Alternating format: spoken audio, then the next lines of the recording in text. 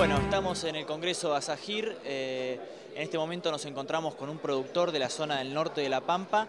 Eh, él es Ricardo Alochis, que bueno, hace girasol desde hace muchos años y estuvo dando una charla justamente acerca de la problemática que tienen las palomas en, este cultivo. Pero bueno, antes que nada, Horacio, me gustaría que me cuentes por qué es un buen, hacer un buen cultivo eh, el de hacer girasol en La Pampa, pues, comparándolo con la soja, ¿no es cierto?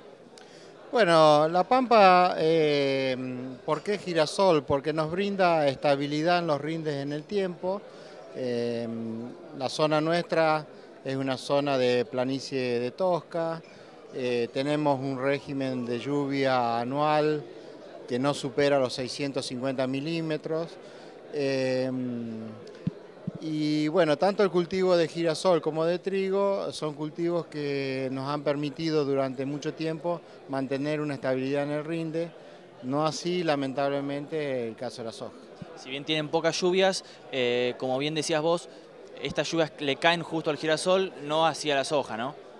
Claro, la pampa normalmente llueve bien octubre, noviembre y parte de diciembre que es eh, justo el ciclo de cuando hacemos un girasol temprano, eh, digamos cuando se cortan las lluvias, que es por allá a partir del mediado de diciembre, el girasol ya está en periodo de floración y bueno, es justamente lo que él quiere, que cuando está en flor no llueva más, no así para la soja que requiere de lluvias, eh, digamos, todo el mes de diciembre, parte del mes de enero, y bueno, lamentablemente La Pampa, eh, no digo que todos los años, pero la mayoría de los años son meses que de muy escaso régimen Horacio, ¿qué rindes están eh, obteniendo contando malos años? Eh, andamos con la media nacional, eso siempre uno lo observa para ver cómo estamos y se puede decir que un promedio en, en 10 años 22 em, quintales de girasol y bueno, hemos llegado a tener picos de, 42 quintales de girasol, pero bueno, son años muy especiales. Eh, Horacio, eh, sin duda que las palomas es el gran problema que ustedes enfrentan. Eh, ¿Qué es lo que ustedes pueden hacer? ¿A qué están apuntando? Bueno, em, hace 10 años más o menos que convivimos ya con este problema y lo que nosotros, digamos, observamos es que en la medida que el cultivo de girasol disminuye el rendimiento, se acrecienta el, daño de paloma. Entonces, digamos, por el momento eh, lo que tratamos de hacer es un buen cultivo de girasol.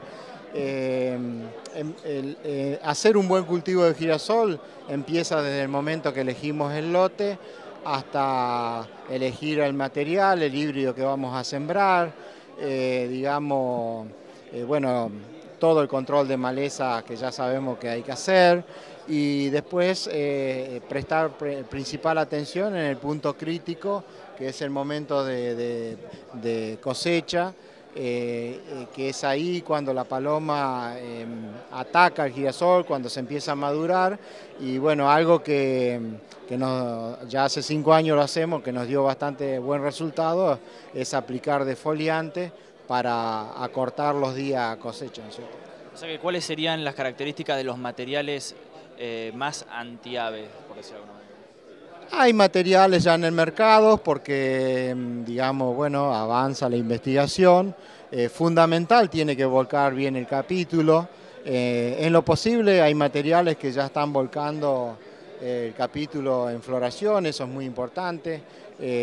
cuando más escuenda el capítulo debajo de la hoja, eso va a ayudar. materiales con, con, buen follaje, las hojas ayudan a digamos, a que la paloma no se sienta tan cómoda y, come menos.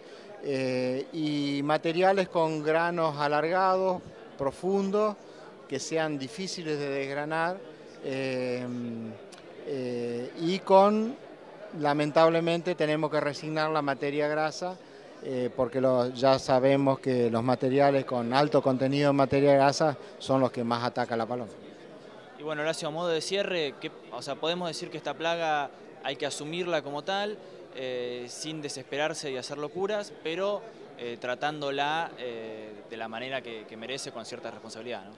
Sí, sí, acá, digamos, bueno, no queda otra que que asumir el problema, que eso es lo que tenemos que hacer, asumir que tenemos un problema por resolver y mm, por el momento eh, lo único que se puede hacer es lograr buenos cultivos, de esa manera se va a reducir eh, considerablemente el daño y, y sigue siendo rentable.